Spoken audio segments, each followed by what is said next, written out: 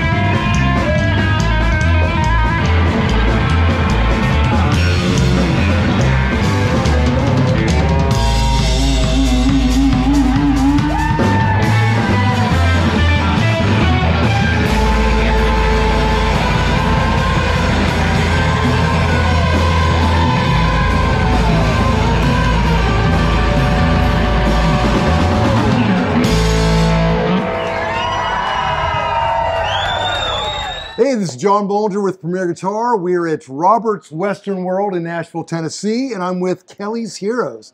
So, you guys, I've seen you playing down here for years on and off, and Joe, particularly you, Uh-huh. and uh, Luke a little later with you because you're you're younger. Yeah. so you both got started with um, playing here with Don Kelley. Is That's that right? That's right. Yeah. And before that, I saw you with the Dempseys. Right. Yeah, Right. great band out of Memphis.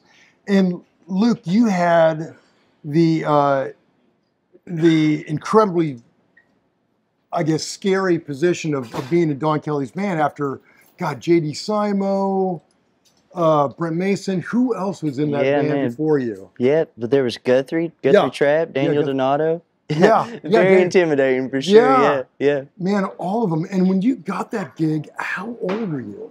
I was uh I was 17. God, 17, yeah. 17. I remember that. I remember seeing this kid down here and thinking, oh my God, who is this kid? Oh man, I was just just happy to be there, you know, just very lucky, very Well, very honored to be here. Well, it, it, it's uh, I love your playing, and I love the fact you stepped into this high pressure gig and just nailed it. Uh, okay, let's talk a little bit about gear that's being Premier Guitar. Let's start over here.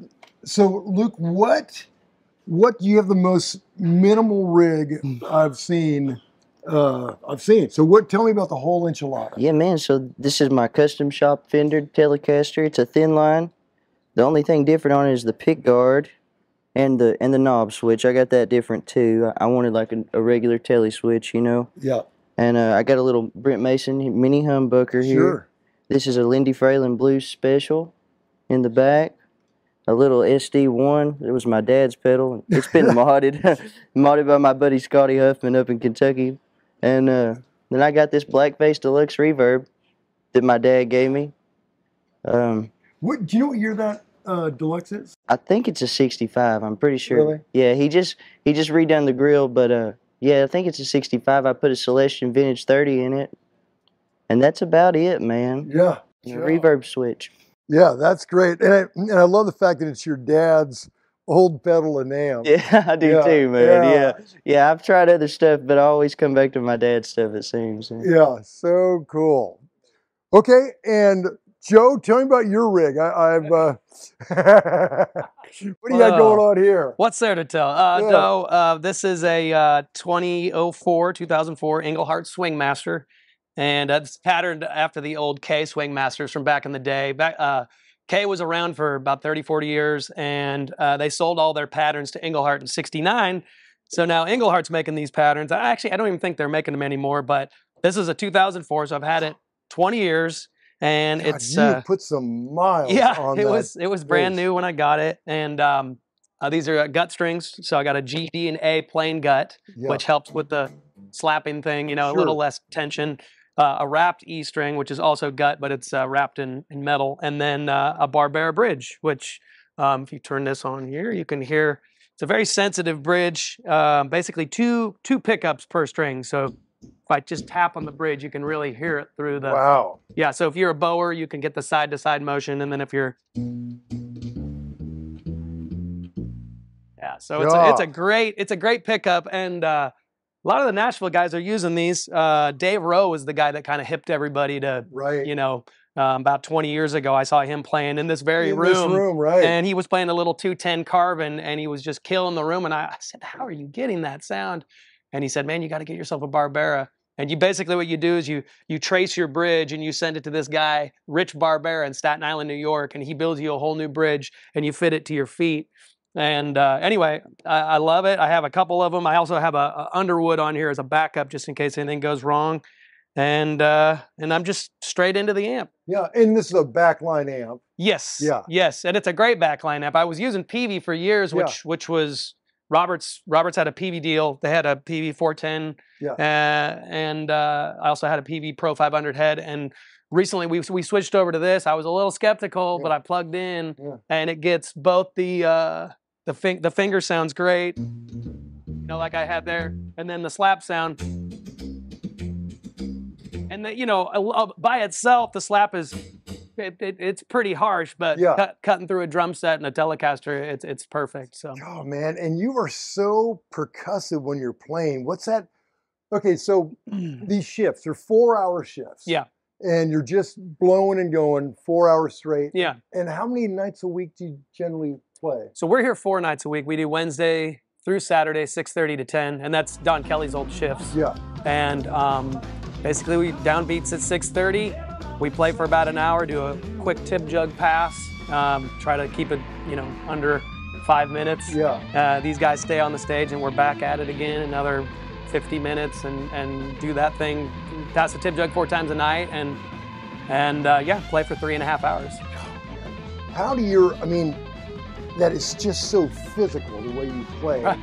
what, I mean, do your hands just ever just give out after a Well, after a rough week? Yeah, to be honest with you, it's harder when you take breaks. So if if if I have like a three or four days off and then I come back to this, then Right. it's just like um, it's like trying to run uphill. Right. So so the fact that we're playing every night, and Luke can attest to this, and so can Billy, our drummer, that you know your chops stay in better shape if you're if you're doing it all the time. Sure. And so.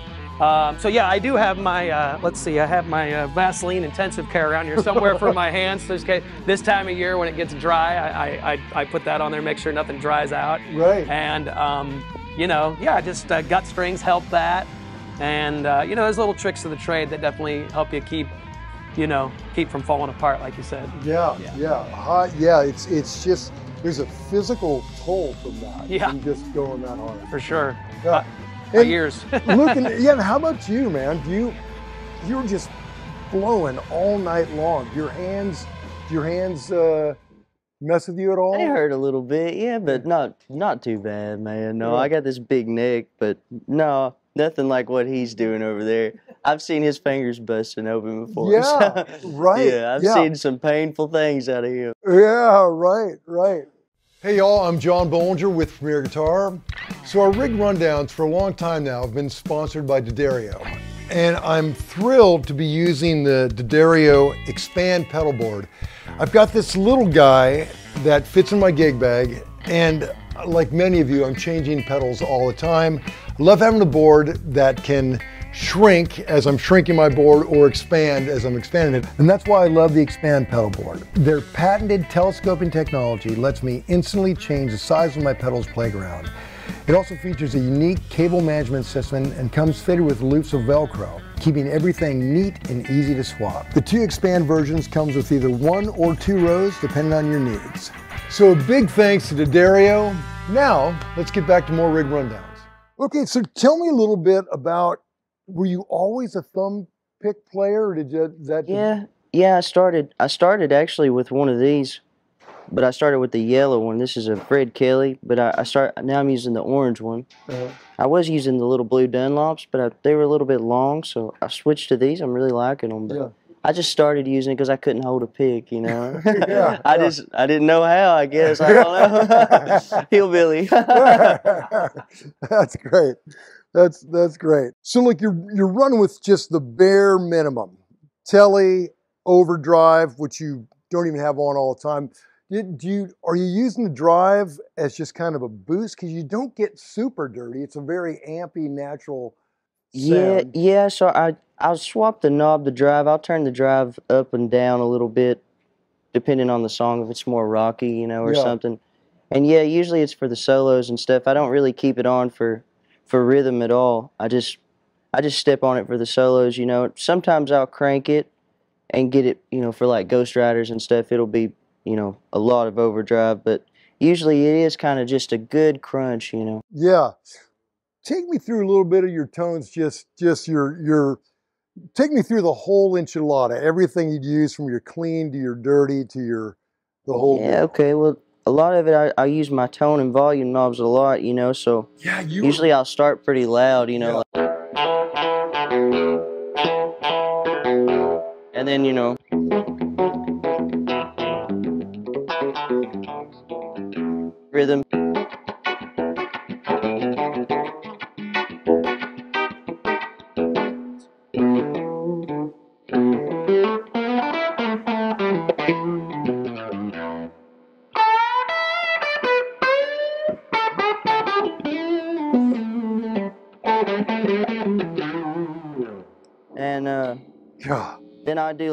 Just the, you know, dry. It sounds really. Yeah.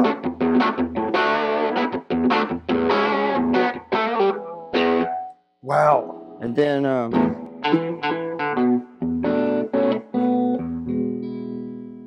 this is really good for, um, you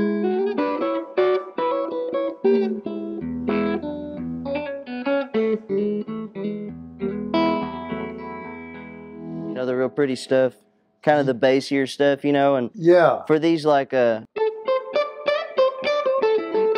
it's really good in a trio to have that extra meat, you know Oh right. for the for the for the high notes anyway and and then for this one I find like I'll roll the tone knob down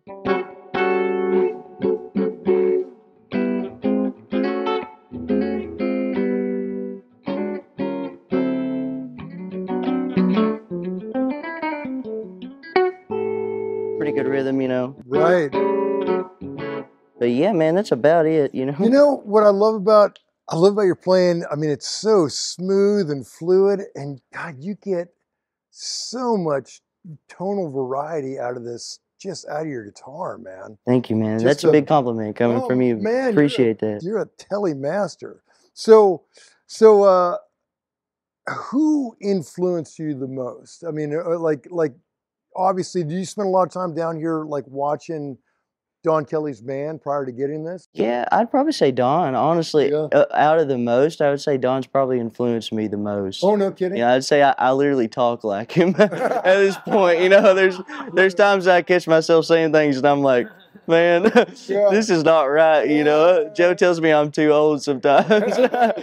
but you know, as far as guitar, my dad and Stevie Ray Vaughan, Oh yeah. you know, and when I was 11, he brought me here to see JD. You know, Oh, and that right. just that changed everything. You know, so it was like this spot for me was like I remember standing right over there, and just being like. That's what I want to do, you know. And I remember thinking, I was just telling my my girl this the other day. I said I remember standing in Kentucky out in my little drive and and remembering like, oh yeah, if I do this, like I can use my mind. You know what I mean? Like I'm not because my dad had quit at the time. He was like working construction. And I uh-huh. remember thinking at that time like. I was going with him too. Yeah, right. you know, I'm like, man, if I do this, like this is using your mind. You know, it's a lot it's a lot easier sometimes. Oh yeah, yeah, But yeah, yeah. Granted, you can be a little lazy with it. Well, and look at look at look at Don Kelley. I mean, God, man, he he that guy has rocked forever. I mean, he's now he's in Florida. Is that correct? He is, yeah. He started his band in, um, I, I think around '81, out of the Stagecoach Lounge, and and he he was there about ten years and bounced around for a few years before he got here in '97. Yeah. And he played his last gig here was uh, uh, as a Don Kelley band was March 14th. 2020, and we all know that was the, Yeah. the, shutdown. But anyway, he's come he's back. like, "I'm he's- out." Yeah, I'm out. I'm out. He's come back a couple times to play with us since. and We're trying to make it more of a regular thing where he pops in every couple months and, and plays a weekend with us. And so yeah, so we it took him three years to kind of to get back, but uh, uh, it did for a lot of people. So Right, Yeah. right. So in between your regular gig here, Mm-hmm. what are you guys doing? I mean, I, I like we've worked together, and I, I assume you're you're uh, you've always got people calling you. I imagine. Oh man, I don't know. I I mostly just do this, you know. It keeps me happy, and Yeah, I'm always open to a call, though. That's for sure. You know, for for a recording Yeah, session. You that's know, right. Yeah, yeah, the battle cry is yes. Yeah. yeah. So what I love about this gig, you know, this bar, it's it's like real country music. And and up and down this street, it's kind of amazing how how you'll hear "Don't Stop Believing" and and you know "Zombie" and all this stuff. But like here, it is always the real deal. yeah, well, um, I mean, we can thank Jesse Lee Jones for Right. buying this place back in the late 90s and wanting to, you know, keep some sort of tradition about this town. And I, I hear it all the time. Customers come in here, they're like, man, where, where do we go after after this place? And I'm like, and I hate to tell them, I'm like, you might as well just stay here because, you know, there's just, unfortunately, there's not a lot of options anymore up and Yeah. down this street. This place, uh, you know, for 16 hours a day, I mean, from, you know, 10 in the morning to 2 in the morning, every band that hits this stage is playing old school country music Right. and it's a, and it's played by a bunch of people that love it and that want to keep it going and that moved to Nashville because they thought that you know a lot of people have been here longer than I have and they you know and then there's some people that have just moved here in the last five years that thought there was going to be a lot more country music Yeah.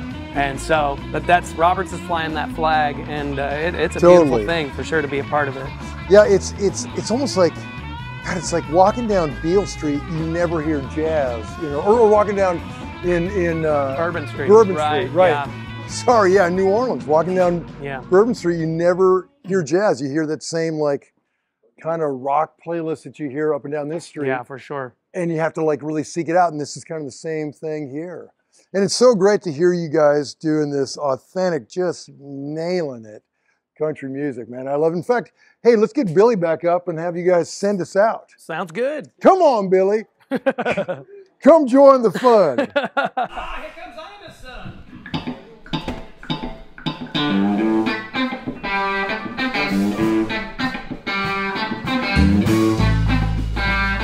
Alligator, won't